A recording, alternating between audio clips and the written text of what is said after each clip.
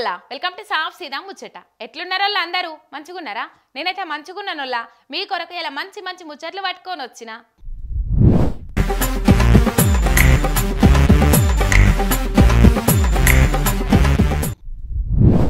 అమ్మ వెట్టా వెట్టది అడక తినానియదన్నట్టు భలే ఉన్నది పోయి కాంగ్రెస్ వాళ్ళ వ్యవహారం. నిల్వ లీనలేని పేదోళ్ళని ఆత్మగౌరవంతో బతకాలనని కేసీఆర్ సారు ఎంతో గొప్పగా ఆలోచన చేసి డబల్ బెడ్రూమ్ ఇండ్లు కట్టించిండు. కానీ కాంగ్రెస్ వాళ్ళు మాత్రం ఒక్క పూరి గుడిసె వేసింది కట్టించింది లేదు కానీ కేసీఆర్ ఇచ్చిన ఇండ్లను ఖాళీ చేపించి ఓటేసిన జనాలకు పాపచిత్తం చేస్తాన్రు. కాంగ్రెస్ ఎందుకు వచ్చిందిరా దేవుడా అని జనమంతా నెత్తిగొట్టుకునే కథ అవుతుంది కదా. కేసీఆర్ ఆనవాళ్ళు లేకుండా చేయాలన్న ఆత్రంలా కాంగ్రెస్ వాళ్ళు ఏం చేస్తుండ్రో వాళ్ళకే తెలుస్తలేనట్టున్నది. పాలకుర్తి మండలం తొర్రూరు కాడ కేసీఆర్ సారు ఏలువడిల కట్టించిన డబల్ బెడ్రూమ్ ఇండ్లలో ఉంటున్న పబ్లిక్ను పర్మిషన్ లేకుండా ఉంటుర్రని ఖాళీ చేపిస్తుండ్రు అధికారులు. ఝాన్సీ రెడ్డి గారు అప్పుడు ఇంకా మేము ఇల్లు కట్టిస్తాం కట్టిస్తాం కాబట్టి ఖాళీ స్థలంలో ఇల్లు కట్టియండి కట్టించి వాళ్ళని చూడండి పేదలు ఇల్లు ఖాళీ చేసి వాళ్ళకి వాళ్ళని చూస్తారా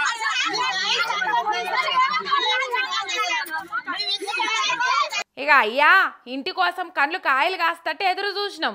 ఇప్పుడు వచ్చి బయటికి వెళ్ళగొడితే ఎట్లనయ్యా? అని కాలు మొక్త బాంచనని ఇడిచిపెట్టమని మొక్కినా కూడా ఇడిచిపెట్టలేదు.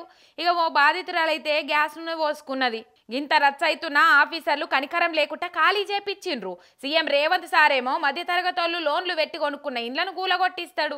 కాంగ్రెస్ ఎమ్మెల్యే ఏమో పేదలకు కేసీఆర్ ఇచ్చిన ఇండ్లను ఖాళీ చేపిస్తుంది. డబల్ బెడ్రూమ్ ఇండ్లలో ఉంటున్న బీదల ఇండ్లు ఖాళీ చేపిచ్చి సీల్ అయ్యాల్సిన అక్కరేమున్నది? దయాకర్ రావును కాదని యశస్విని రెడ్డిని గెలిపిస్తే గిదా చేసేది అని అంటూ పబ్లిక్ కూడా కుతకు తుడుకుతాండ్రు. అధికార వ్యవస్థలను అడ్డంగా వాడుకొని రెచ్చిపోతున్న కాంగ్రెస్ వాళ్ళకు మా శాపాలు దొరగక మానేయని ఇరుగా శాపిస్తుండ్రట బాధిత పబ్లిక్ నిన్నీయాల ఏది నిజమో ఏది అవద్దమో నమ్మకుండా అయిపోయింది. ఎంత జల్దిగా మీదికి పోయి సెలబ్రిటీలు అవుతుండ్రో అంత జల్దిగా పట్టున కింద పడతాండ్రు. మన జానీ మాస్టర్ కథ గట్లనే అయింది. ఇక ఇప్పుడు ఫేమస్ యూట్యూబర్ హర్ష సాయిది కూడా గదే స్టోరీ అయింది హర్ష సాయి అంటే యూట్యూబ్ చూసేటోళ్ళ దాంట్లో తెలియని వాళ్ళు ఉండరు.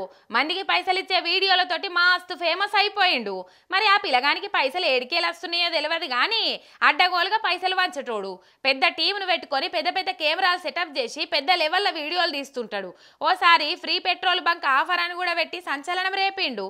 ఇట్లా తక్కువ రోజుల్లోనే ఎక్కువ పాపులర్ అయిండు ఆ ఫేమ్ తోటి మెగాలో డాన్ అని ఒక సినిమా కూడా తీసిండు. దానికి డైరెక్టర్ హీరో కూడా హర్షనే. ఇక దాంట్లో హీరోయిన్ ఉన్న పిల్లనే సినిమాకు ప్రొడ్యూసర్. ఆమెనే ఇప్పుడు హర్ష మీద కేసు పెట్టింది. నన్ను ఖరాబ్ చేసి వీడియోలు తీసిండు. సినిమా రైట్స్ ఇయ్యకుంటే వీడియోలు బయట పెడతా అని బెదిరిస్తుండని ఫిర్యాదు ఇచ్చింది. అయితే హర్ష సాయేమో అవన్నీ అబద్ధాలు. ఆమెనే నా ఎంట పడ్డది? నేనే ఆమెను బ్లాక్లో పెట్టిన? ప్రేమించుమన్నది. పైసలు అడిగింది. నేను రిజెక్ట్ చేసిన. కోపంతో నా మీద కేసు పెట్టింది అని చెప్పుకొచ్చిండు. కానీ ఆ పిల్ల వకీలేమో అవన్నీ అబద్ధాలు ఇంటికి తోలుకపోయి కూల్ డ్రింకుల మత్తు మంది ఇచ్చి అంగడి చేసిండు. సినిమాకు రెండు కోట్లు తీసుకొని దగ్గర పెట్టుకుండు. ఏకాంత ఉన్న వీడియోలు తీసి బెదిరిస్తుండు అని చెప్పుకొస్తాడు. హర్షసాయి మాత్రం పోలీసుల విచారణలో అన్ని బయటపడతాయి అప్పుడే నిజమేందో తెలుస్తుంది అని అంటాడు. ఇక నిన్నయాల ఇటువంటి యూట్యూబర్లు గింతంత పేరు రాగానే నా అంతటోళ్ళు లేడని బిల్డప్లు కొట్లి ఇట్లా అందరు ముంగట పల్టీలు కొడతాండ్రు. కష్టపడి ఇల్లు కట్టి తపదాయి కాలబెట్టినట్టు ఆడోళ్ళ జోలికి పోయి ఆగమైతాండ్రు. పదేండ్ల కాలంలో సినిమాల్లో ఫంక్షన్లు ఎట్లయితుండే హైదరాబాద్లో? ఏం గింత పొరపాట్లు రాకుండా మంచిగా అవుతుండే అభిమానులు కూడా వాళ్ళ అభిమాన హీరోలను కండ్ల నిండా చూసుకొని మురుద్దురు. కానీ మొన్న ఏమైంది? చిన్న ఎన్టీఆర్ అన్న దేవర సినిమా ఫంక్షన్ పెట్టుకుంటే పర్మిషన్లు ఇయ్యలేదు.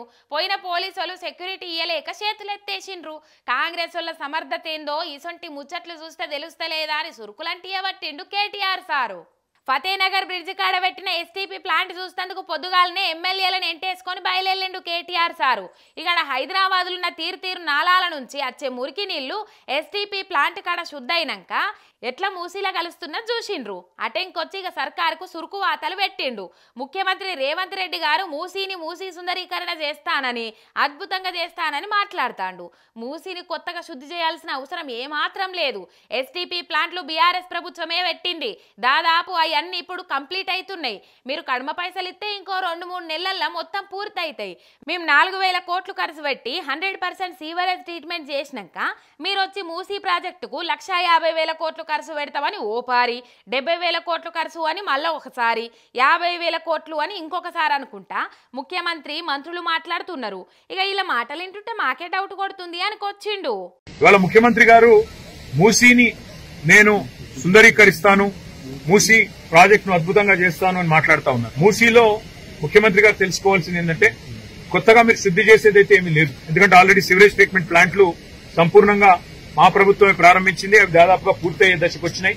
మీరు డబ్బులు ఇస్తే ఇంకో రెండు మూడు నెలల్లో మొత్తం పూర్తయిపోతాయి. మరి నాలుగు వేల కోట్లు ఖర్చు పెట్టి మొత్తం హండ్రెడ్ పర్సెంట్ సివరేజ్ ట్రీట్మెంట్ అయిపోయిన తర్వాత మరి వాళ్ళ ముఖ్యమంత్రి గారు ఆయన మంత్రివర్గం మాట్లాడుతున్న మాటలు మూసీ ప్రాజెక్టు కోసం లక్షా యాభై వేల కోట్లు ఖర్చు పెడతామని ఒకసారి యాభై వేల కోట్లు అని మరొకసారి డెబ్బై వేల కోట్లు అని మరొకసారి ఏవైతే మాట్లాడుతున్నారో ఈ మాటలు చూస్తా ఉంటే మాకు అనుమానం వస్తా ఉంది. ఎందుకంటే అసలు ఉద్దేశం మూసి సుందరీకరణనా లేక ఇంకేదన్నా ఉన్నదా అనేది కూడా ప్రజల్లో కూడా అనుమానాలు కలుగుతా ఉన్నాయి. కాబట్టి నేను రేవంత్ రెడ్డి గారికి మున్సిపల్ శాఖ కూడా చెప్పేదల్లా ఒకటే. మీరు ఆల్రెడీ కేసీఆర్ గారు ఏదైతే మంచిగా వడ్డిచ్చినా విస్తరిలాగా మీకు అన్ని పంచపక్ష పరమాన్నాలు పెట్టి ఇక Devara cinema pre release event cancel అయిన దాని గురించి కూడా సర్కార్కు సొట్లు పెట్టిండు. మేము ఉన్నప్పుడు ప్రీ రిలీజ్ ఈవెంట్లు ఎంత మంచిగా శాంతియుతంగా అవుతుండే ఇప్పుడు మొన్న ఏం చేసిండ్రో చూసిండ్రు కదా.